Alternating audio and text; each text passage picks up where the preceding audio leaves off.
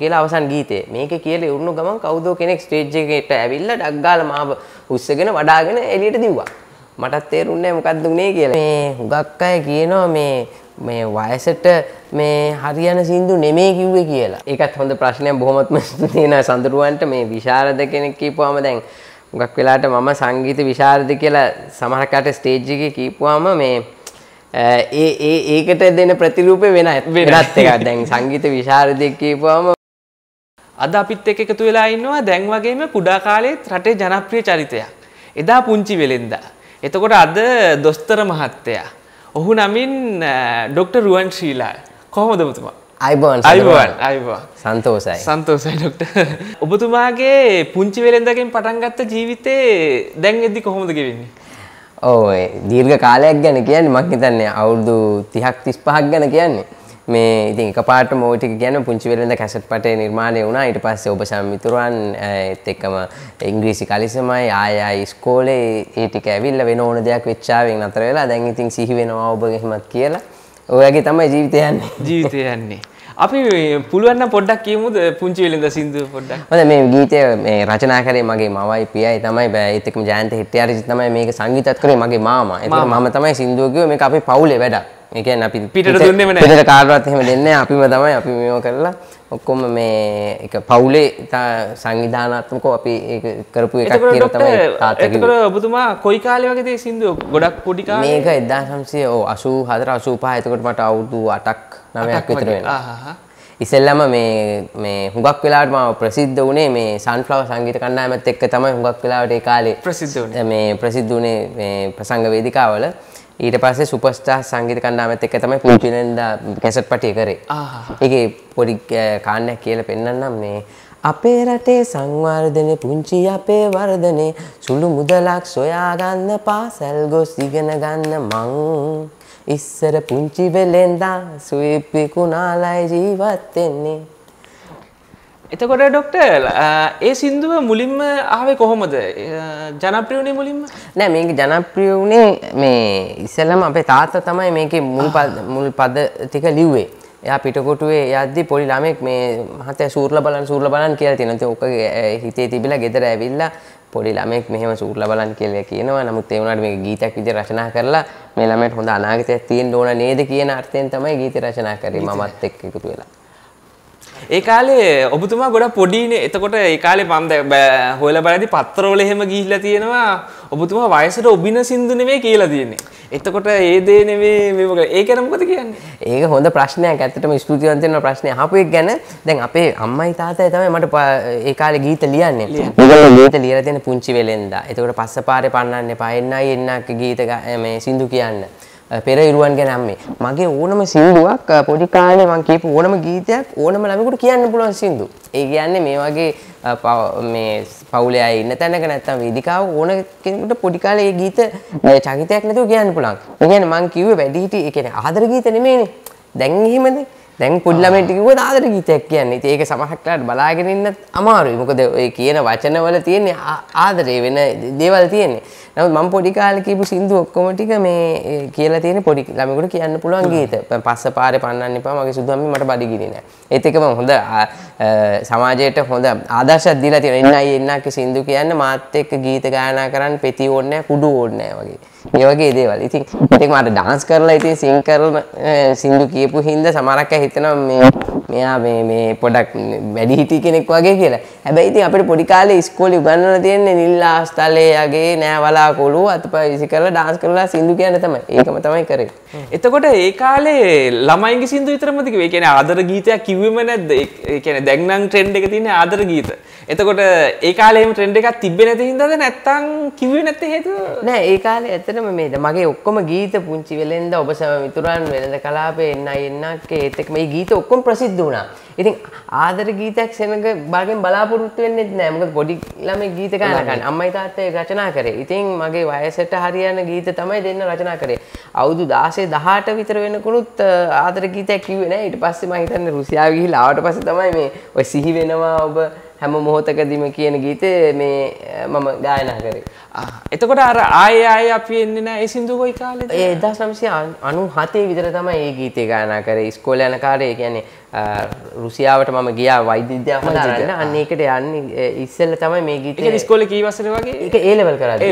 A level කරද්දී අපි ඉස්කෝලේ තමයි මේ ගීතේ මගේ යාළුවොත් එක්ක එකතු වෙලා ලිව්වේ ඒ සාමාන්‍ය තියෙන වචන ටිකක් තියෙනේ දැන් ඒකේ ඒ ඒ ගීතයත් ඊටාමත්ම වැදගත් ගීතයක්. මොකද කවුරුත් දන්නේ ඒකේ ආය ආය කියන එක මම හිතන්නේ ලෝකේ වැඩිම වාර ගන්නක් කියන ගීතය. ආයේ ආයේ අපි. ඔව් ආය ආය කියලා කියනවා. වැඩිම වාර ගණනක් කියනවා. මං ප්‍රසංග වේදිකාවේ සමාජකාරයට ගීතේ ගායනා කරනකොට මං කියනවා මම අපේ ප්‍රේක්ෂකයන්ට ගණන් කරලා කියන්න කියලා හරියට කිව්වොත් කාරී මම මේ ඒගොල්ලන්ට තෑග්ගුත් දෙනවා. කියපු ගාන කිව්වොත්. ඔව් එතකොට ඒ කාලේ ඔබ මේ ප්‍රසංග වේදිකාවල සින්දු කියද්දී අකරතැබ්බ වෙලා ඇතින මොන හරි අමතක නොවන දෙයක් වෙලා එහෙම නැද්ද? ඒවයි ගොඩක් දේවල් නම් තියෙනවා දැන් ওই රත්නපුරේ පොඩිනි මම අපේ තිබ්බ පුංචි වෙලඳ කියලා ඒක පුද්ගල ගීත සංගයක් ලංකාවේ පොඩි ළමෙක් අ, භාෂා හතරකින් ගීතයක් ගායනා කරපු ඒක පුද්ගල ගීත සංගය. මේ ප්‍රසංගේ ඉවර වෙලා අන්තිමට තියෙනවා මව්බිමේ අපි දූතරෝ කියලා අවසන් ගීතේ. මේක කියලා ඉවරුණු ගමන් කවුදෝ කෙනෙක් ස්ටේජ් එකේට ඇවිල්ලා ඩක් ගාලා මාව උස්සගෙන වඩාගෙන එළියට දිව්වා. මටත් තේරුන්නේ මොකක්ද උනේ කියලා. ඊට පස්සේ අපි කට්ටිය තාත්තලා අම්මලා සාමාමලා ඒ කට්ටිය ආවා. ඇවිල්ලා අල්ලගත්තා නේ ඇහුවා. එයාගෙන් ඇහුවා මොකද කරන්න ගියේ කියලා. ඒතකොට එයා කිව්වා මේ මේ නෑ නෑ ආසාවට අරගෙන දුවන්න ගියේ කියලා. නමුත් ඉතින් අපි දන්නේ මේ මොනා කරන්න ගියාද කියලා. ගියාද? එතකොට බයක් හිතුනේ දැන් ළමෙක් නම් වේදිකාවක වේදිකාව නගින්නත් බෑනේ සාමාන්‍ය ළමයි. එතකොට ඒ චකිතේ එතකොට අර වගේ දෙයක් වෙද්දී බයක්වත් ඔව්, දැනුන්නේ ඒ? වෙලාවේ නම් ලොකු බයක් දැනුණා. මේ ම- මටත් හිතා ගන්න බැරුව මොකක්ද උනේ කියලා. සඳරුවන් අනිත් කතාව තමයි දැන් ඔය මේ පොඩි අයට වේදිකාවට නගින්න ඒ යනකොට චකිතයක් තියෙනවනේ. මං හිතන්නේ මට තරම් බයක් තියෙනද තව කවුරුත් නෑ. මං හරි බයයි වේදිකාවට යන්න. යන්න ඔන්න මෙන්න වෙනකම් මං හරි බයයි. හැබැයි වේදිකාවට ගිහිල්ලා මයික් එක අතට ගත්තට පස්සේ මට ඒ බය නැතුව. බය. ඔව් අපිට ඒ සින්දු අපි පරණේව බලද්දී බයක් කිසිම තේරෙන්නේ. හොඳට එන්ටර්ටේන්මන්ට් කරගෙන ඉන්න චරිතයක් තමයි. එතකොට මේ මොකද්ද මේ ටී-ෂර්ට් එක මම ගොඩක් බලලා දකිනවා චේගේ මොකද්ද ඒකේ හේතුව? ඔව් මේ මේ ටීෂර්ට් එක මම හිතන්නේ මේ ගැන මම කවුරු කියලා නැහැ.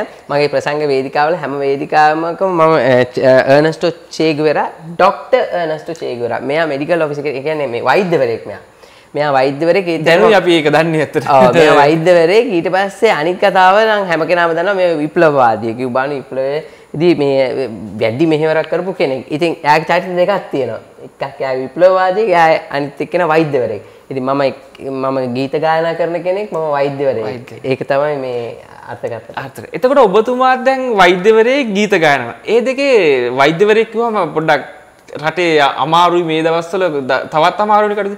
ඒක ප්‍රශ්නයක් වෙන්නේ නැද්ද ගායකෙක් විදියට මේ දෙක බැලන්ස් කරගත්තේ අපි කිව්වොත් කොහොමද? ඒකත් හොඳ ප්‍රශ්නයක් තමයි දැන් පොඩි කාලෙත් මේ කලාවයි ඒත් එක්කම අධ්‍යාපනයයි බැලන්ස් කරගන්න නම් අපේ අම්මයි තාත්තයි මට බොහොම මේ ඉවහල් වුණා මොකද මම මේ මේ ගුරුවරියක් අ, තාත්තා හුඟක් වෙලාවට ඒ ඒ පැත්ත ගැන බලනවා හුඟක් වෙලාවට සංගීත සංදර්ශන වලටත් ගියේ පොඩි කාලෙදී මේ හොයලා බලලා තමයි ගියේ අ, දැන් ඊට පස්සේ මම රුසියාවට ගිහිල්ලා එන්නේ 2003 විතර. ඊට පස්සේ තමයි ප්‍රසංග වේදිකාවට යන්නේ. හැබැයි සෙන්සුරාදී ඉරිදාට එහෙම තමයි ගියේ.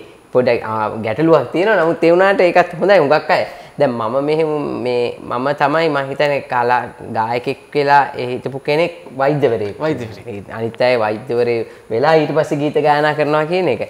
ඉතින් කෙසේ වෙතත් මේ දෙකම කරගෙන යන්න පුළුවන්. බැරිකමක් බැරිකම එතකට ඔබතුමාගේ දැන් ගොඩක්කාගේ පොඩිකාල තියනවන අනාගත බලාපොරොත්තු එතකොට ඔබතුමාගේ අනාගත බලාපොරොත්තු ඩොක්ටර් කෙනෙක්ද නැත්නම් ගායකයෙක්ද නැත්නම් වෙනම පැත්තක්ද නෑ පොඩි කාලේ දැන් ওই පත්තර වලින් එතකොට මේ ඇවිල්ලා අහපුවාම කියවුවේ විද්‍යාඥයෙක් වෙනවා කියලා. පොඩි කාලේ ළමයි හුඟක් වෙලාට කියනවා වෛද්‍යවරයෙක් වෙනවා විද්‍යාඥයෙක් වෙනවා කියලා. ඒ එකක්වත් සමාජයට හිතේ තියෙන දේවල් නෙමෙයි මටත් එහෙම එකක් තිබ්බේ නෑ. ඒක අර කියපුවාම සමාජයට වැඩිහිටියෝ කියන දේවල් අහලා කියපු දෙයක්. නමුත් ඒකට මෙහෙවන්නේ දෙමව්පියෝ. ඉතින් මේ දෙමව්පියෝ මගේ දෙමව්පියෝ මාව මෙහෙවපු විදිහේ තමයි. තමයි. එතකොට ඔබතුමා මේ දෙකෙන් දැන් වැඩිපුර කැමැත්ත මොන පැත්තෙන් යන? දැන් වෘත්තීන් දෙකම සමසේව කරගෙන යන ආසාවෙන් කරන්නේ. ඔව් කැමැත්ත නම් ඉතින් මේ මුකුත් නොකර ඉතින් ගෙදර නිදහසේ ඉන්න කැමැත්ත. එතකොට පඩියක් හම්බ වෙනවා නම් ඒක හොඳයි. නමුත් දැන් මේ ඒ දෙකේම ලොක්- මේක මේකක් එකකට එකක් වැඩි කියලා කියන්න අපහසු. උදාහරණයකට 2007 මම ම්, සීමාවාසික වෛද්‍ය තන්ත්‍ර කරේ කල්මුණ අ, මේ මුලික රෝහලේ. එතකොට ඒක වෙනම අත්දැකීමක්. එතකොට ඒ දවස්වල ගීත ගායනා කරන්න ඒවා නැහැ. මුගක් වෙලාවට සමහර වෙලාවට මේ කොළඹට ඇවිල්ලා ගීත ගායනා කරලා යනවා. ඊට පස්සේ 2012 විතර මම කොළඹට එනවා. කොළඹට ආවට පස්සේ ගීත ගායනා කරනවා. එතකොට ඒක වෙනම එකක්. ඉතින් මේ දෙකේම හොඳ නරක තියෙනවා. නමුත් මේක මේක කොහොමද කියන්නේ මේක ලයිෆ් එක හරි ඉන්ට්‍රස්ටිං ඉන්ට්‍රස්ටිං ඔබ ඒ වෙනකොට රටේ ජනප්‍රියයිනේ කුඩා කාලේ එතකොට මුදල් එහෙමත් හම්බෙන්නේ නැති. ඔබ ඒ ඔක්කොම අතෑරලා ඇයි රුසියාවලට ගියේ ඉගෙන ගන්න? ඒකත් හොඳ ප්‍රශ්නයක් හුඟක් වෙලාවට දැන් සංගීතය කරනකොට මේ සංගීත ප්‍රසංගවලට යනවා මුදල් හම්බෙනවා කිසි ගැටලුවක් නැහැ. නමුත් අපේ තාත්තට තිබුණා මේක තමයි මේ ඉගෙන ගන්නත් ඕන කියලා. ඉතින් ඒ නිසා මාව යවුවා රුසියාවට රුසියා වෛද්‍ය විද්‍යාව හදාරන්න මටත් ඕන වෙලා තිබ්බේ මේ දැන් ලංකාවේ ඒකාකාරීම ජීවිතයක් නේ තිබ්බේ. හුඟක් වෙලාවට ගෙදරින් කොහටත් යන්න බෑ. ඉතින් මේ වගේ කොහොමද කියන්නේ අවස්ථාවක් හම්බුනම මගහරින්නත් බෑ. ඉතින් මම ගියා රුසියාවට ගිහිල්ලා මේ වෛද්‍ය විද්‍යාව හදාගන්න පුළුවන්ද කියලා බැලුවා. හැදෑරුවේ වගේ. හැදෑරුවා ඊට පස්සේ 2003 වෙද්දී ලංකාවට ආවා. ලංකාවට ඇවිල්ලා ලංකාවේ මම යුද්ධ හමුදා රෝහලේ අවුරුදු එකමාරක් විතර වැඩ කරා. ඒක ඉතාමත්ම හොඳ පුහුණුවක්. ඊට පස්සේ මෙහි තියෙනවා ඇක්සිස්ටින් කියලා පිටරට ගිහිල්ලා එන ළමයි ඒ විභාගෙට මුණ දෙන්නට ඕන. ඒ විභාගෙන් පාස් වෙලා ඊට පස්සේ සීමා වාසික තනතුර හම්බුණා මට කල්මුණ ප්‍රදේශයේ. ඒකත් හොඳයි මොකද දෙමළ භාෂාව ඉගෙන ගන්න මට හරි ආශාවක් තිබ්බා. ඉතින් දැන්ට ඒකත් කරගන්න පුළුවන් වුණා. ඔබ එතකොට සංගීත පැත්තෙන් ඉහළටම ගියපු කෙනෙක් කොහොම හිටියද? එතකොට විශාරදවරයෙක්නේ. ඔබ මුලින්ම ඉගෙන ගත්තේ කාගෙන්ද සංගීත පැත්ත හැදෑරුවේ? හුඟක් වෙලාවට මේ ඒකත් හොඳ ප්‍රශ්නයක් බොහොමත්ම ස්තුතියි නා සඳරුවන්ට මේ විශාරද කෙනෙක් කියපුවාම දැන් හුඟක් වෙලාවට මම සංගීත විශාරද කියලා සමහරකට ස්ටේජ් එකේ කියපුවාම මේ ඒ ඒ ඒකට දෙන ප්‍රතිරූපේ වෙන වෙනත් එකක් දැන් සංගීත විශාරදයක් කියපුවාම මේ වෙන විදිහේ ගීත තමයි ගායනා කරන්නේ. නමුත් මම ප්‍රසංග වේදිකාවේ වෙනම. ඒ සංගීත විශාරද කියන්නේ සංගීත ගැන ඉගෙන ගන්නවා කියන එක වෙනයි. ඉතින් විශාරද කියලා ඒක ඔළුවේ තියාගෙන එහෙම ඉන්න අවශ්‍යතාවයක් නැහැ. ඉතින් ඒක සංගීතය ගැන ප්‍රගුණ කරන එකක්. දැන් ඉතින් මම දොස්තර කියලා හැමදෙස්සෙම නලාව දාගෙන ඉන්න ඕනේ නැහැ නේ කරේ. ඒක ඒ අදාළ අවස්ථාවේදී. ඉතින් ඒ නිසා එතකොට මේ සංගීතය ඔබ අහපු විදියට මේ විශාරද වෙනකන් මම මේව කළා ඒ ඒ විතර නෙමෙයි සංගීත විතර නෙමෙයි මම කතක් නර්තනය පිළිබඳ ඩිප්ලෝමාවක් තියෙනවා. ඒතර උඩරට අවසානය වෙනකන් කරලා තියෙනවා. ඉතින් හැම දෙයක්මත් කරලා හැම පැත්තෙම දක්ෂෙක්. දක්ෂ නෑ ඉතින් පුළුවන් එහා හැම කරගන්න. ඔව් සඳරුවන් ඇහුවේ මේ කාගෙන්ද සංගීත ඉගෙන ගත්තේ කියලා. මුල් ගුරුවත් පොත් ලැබුණේ විශාරද සනත් නන්දසිරි මහත්මයාගෙන්. ඔව් ඊට පස්සේ විශාරද වෙනකන් මාව පුරුදු පුහුණු කරේ ජානකී ලියනවත් මේ ගුරුතුමිය ඊටාත්ම ගෞරවයෙන් මතක් කරනවා මේ වෙලාවේ. මේ දවස්වල රටේ යන දේවල් එක්ක මේ කොරෝනාත් එක්ක එතකොට සංගීත සංදර්ශනය ඇත්තෙම නැහැ. ගායකයන්ට ගොඩක් ප්‍රශ්න ඇති. එතකොට ප්ලේස්ලට හැමෝට.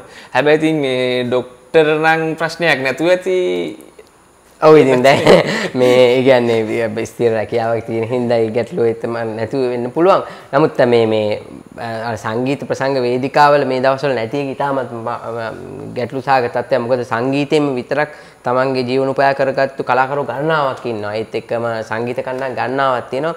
ඉතින් මමත් 17 කල්පනා කරනවා මෙයාට මොකක් හරි ක්‍රමවේදයක් තියෙනවද කියලා. සමහරක් වෙලාවට මේ මේ අපිට මේ මේ සංගීත සංදර්ශනයක් කරන්න තාම හැකියාව නැහැ. නමුත් ලද පළවෙනි අවස්ථාවේදී එකක් කරන්න මේ තමයි වෙන්නේ. ඉතින් අපි කොරෝනා කොහොම හරි අඩු කරගත්තොත් මේ වසංගත තත්ත්වය මම හිතන්නේ මේ අවස්ථාව බොහොම නුදුරේදී මුදා වෙයි අපිට. එතකොට ඔබතුමාගේ මේ ගමනට ඔබතුමාගේ දෙමාපියන්ගෙන් ලොකු සාධාරණයක් ඉෂ්ටුනා ලොකු මඟ පෙන්වීමක් තිබුණා. එතකොට දැන් ඔබතුමාටත් දරුවෝ ඇති. එයාලා කොහොමද යන ගමන? ඔව් දෙමව්පිය දෙන්න ඉතාමත්ම වැදගත් ඒ දෙන්න හින්දා තමයි මම අද වෛද්‍යවරයෙක් සහ මේ වගේ ගායකයෙක් වෙලා ඉන්නේ. දැන් දරුවෝ දෙන්න පොඩි දෙන්නෙක් ඉන්නවා දුවයි පුතයි. ඒ දෙන්නත් සින්දු කියනවා. ඒ දෙන්නගෙත් ගීත දෙකක් අපි දැන් මේ ප්‍රචාර වෙන්න දාලා තියෙන්නේ. ඒ දෙන්නටත් ගීත ගායනා කරන්න පුළුවන්. ඉතින් ඒ අයත් ගායනා කරන්නේ අර කුඩා දරුවන්ට කියන්න පුළුවන් ගීත. ඕන තැනක ඕනම තැනක ගිහිල්ලා කිසි බයක් චකිතයක් නැතුව ගායනා කරන්න පුළුවන් ගීත. අපි ගීත දෙක පොඩ්ඩක් බලමුද? අපි බලමු මේ ගීත දෙක. ගීතයක් තමයි මේ ගිරිගිරි බෝලේ කියලා. අනිත් එක තමයි අන්දරේ සීනි කාපු එක. සීනි ඉතින් මේ දවස්වල කොහොමද ගන්න? කොහොමද ගන්න? ඒකින්ද මේ අන්දරේ කොහොමද සීනි ටික කෑවේ කියන එක තමයි මේ සින්දුවෙන් පෙන්වන්නේ. නංගි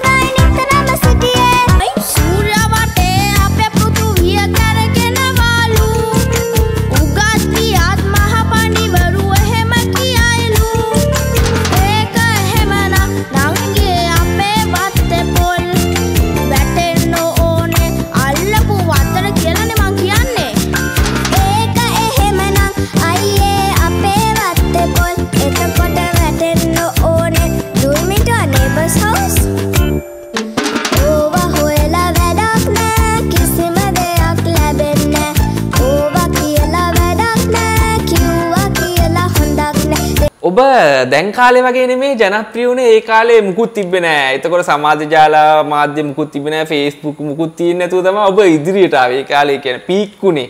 හැබැයි දැන් ඉන්න චරිත දවසෙන් ඉහළට එනවා. ඒකම මොකක්ද එයාලගේ සංගීතෙත් එක්ක කියන්නේ? ඒකෙත් තියනවද සංගීතෙත්? ඔව් එතනත් හොඳ ඒකත් හොඳ ප්‍රශ්නයක් ඔයා මතු කරන්නේ. දැන් ඉස්සර නම් අපිට මේ හුඟක් වෙලාවට මම නම් මේ ප්‍රසංග වේදිකාවලමනේ හිටියේ. දැන් වෙද්දිත් එහෙම තමයි මගේ සම හුඟක් වෙලාවට ගීත FM නාලිකාවලවත් රූපවාහිනී වලත් යන්නේ නැහැ. නමුත් ඒ වුණාට ප්‍රසංග වේදිකාවේදී ඔබ බලන්න YouTube එකට එහෙම ගිහිල්ලා කොයි විදිහට ප්‍රසංග වේදිකාවේ තියෙන මේ ඒ ඉල්ලීම ප්‍රතිචාරය කියලා. හැබැයි දැන් බොහොම ඉක්මනට ගීත එනවා. ඒ ගීත ඉක්මනට ප්‍රසිද්ධ වෙනවා. ඒත් එක්කම ජනප්‍රිය ප්‍රිය වෙනවා සමහරක් වෙලාවට ඊට පස්සේ ටික කාලයක් වෙද්දි නැති වෙනවා. හැබැයි ඉතින් සමහරක් ගීත තියෙයි.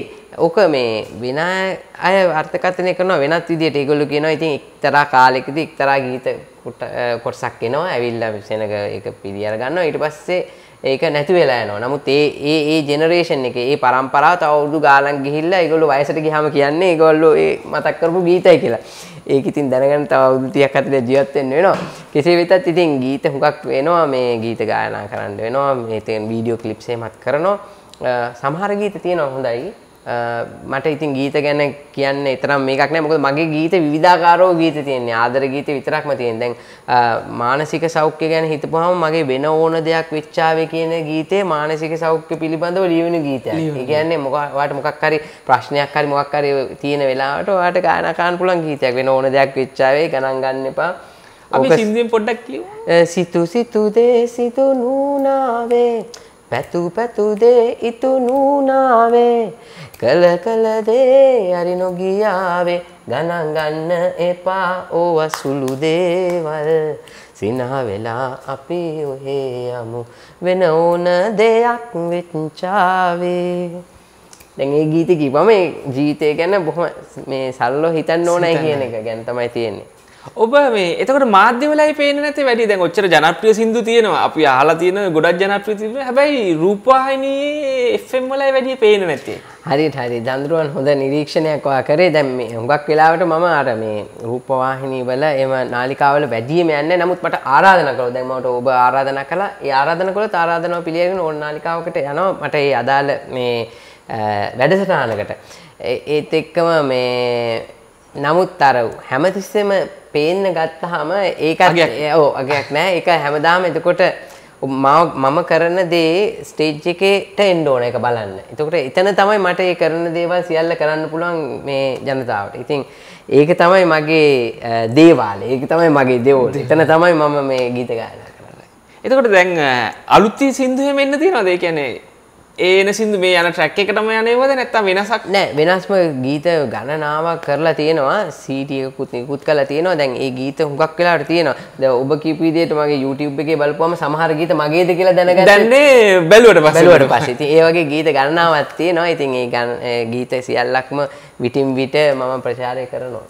අපි හැමෝගෙම අහන්නේ බලන්නේ අලුත් මොකක් හරි එනවද කියලා එතකොට හැමදාම පුංචි වෙලෙන්දගෙන උත් යන්න බෑනේ දැන් ඉස්සරහට අලුත් මොන හරි එන්න තියෙනවද? ඔව් අලුත් ගීත ගන්නවා තියෙනවා. දැන් මේ මං තව ගීතයක් කරා මේක මේ මගේ යාළුවෙකුට වෙච්ච දෙයක්. එයාට වෙච්ච දෙයක් ගැන තමයි මේ ගීතේ කියන්නේ. හැබැයි එයාගේ වචන වලින් තමයි මේ ගීතේ ලියලා තියෙන්නේ. මේකේ තියෙනවා අර මේ අපි දැන් මේ පාවිච්චි කරන මේක මගේ ෆස්ට් ලව් එක. එයාට පොඩ්ඩක් ඉංග්‍රීසි එහෙමත් පුළුවන්. එයා දෙකම කලවම් කරලා තමයි කියන්නේ. ඒක කියන්නේ මෙහෙමයි.